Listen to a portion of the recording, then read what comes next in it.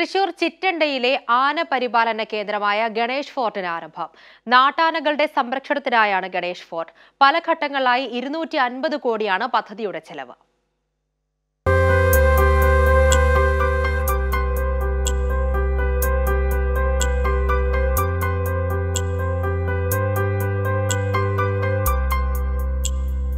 ഈ കാണുന്നത് ഒരു സംരക്ഷണ കേന്ദ്രം മാത്രമല്ല ആനകളുടെ സ്വപ്നഭൂമി കൂടിയാണ്.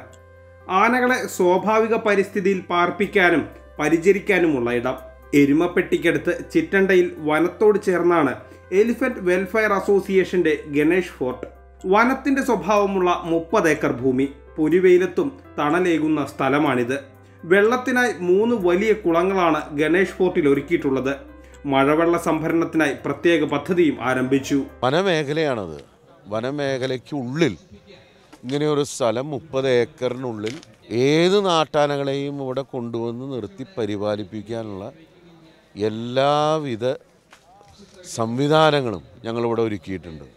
ഏതൊരു വ്യക്തിക്കും ഇവിടെ വന്ന് ആനകളെ നേരിട്ട് കാണാനും ആനകളെക്കുറിച്ച് മനസ്സിലാക്കാനും അതുപോലെ തന്നെ ആനകളുടെ എന്തൊക്കെയാണ് പ്രത്യേകതകൾ അതിനൊക്കെ അതിവിദഗ്ധരായ ചികിത്സാ വിദഗ്ധർ ഈ പരിസരത്തുണ്ടാവും. അതുപോലെ തന്നെ ആന സവാരി പിന്നെ ആനകളെ കുളിപ്പിക്കുന്നത് ആനകൾക്ക് നൽകുന്ന ഭക്ഷണങ്ങളെക്കുറിച്ച് എല്ലാ കാര്യങ്ങളും മനസ്സിലാക്കാനുള്ള ഒരു അവസരം കൂടിയാണ് ജനങ്ങൾക്കിത്. ഗണേഷ് ഫോർട്ടിൽ ഭാവിയിൽ നടപ്പാക്കാൻ ലക്ഷ്യമിടുന്ന പദ്ധതികളും ഏറെയാണ്. പഴയ കെട്ടിടത്തിൽ ആനകളുടെ ചികിത്സയ്ക്കായി ആശുപത്രി ആരംഭിക്കും. ഉടമസ്ഥർക്ക് നോക്കാൻ കഴിയാത്ത പ്രായം ചെന്ന ആനകളെയും ഇവിടെ സംരക്ഷിക്കും. പല ഘട്ടങ്ങളിലായി ഇരുന്നൂറ്റി അൻപത് കോടി രൂപയാണ് പദ്ധതിക്ക് ചിലവ്. അടുത്തു വരുന്ന ജൂൺ ജൂലൈ മാസത്ത് ഇവിടെ നല്ലൊരു ഒരു നൂറിൽ പരം ആനകളെ സംഘടിപ്പിച്ചുകൊണ്ടുള്ള ഒരു മെഡിക്കൽ ക്യാമ്പും നാൽപ്പത് ദിവസം നീണ്ടു നിൽക്കുന്ന സുഖചികിത്സയും ഇവിടെ നടക്കും. അതുതന്നെയാണ് ഈ സ്ഥലത്തിന്റെ ഏറ്റവും വലിയ പ്രത്യേകത.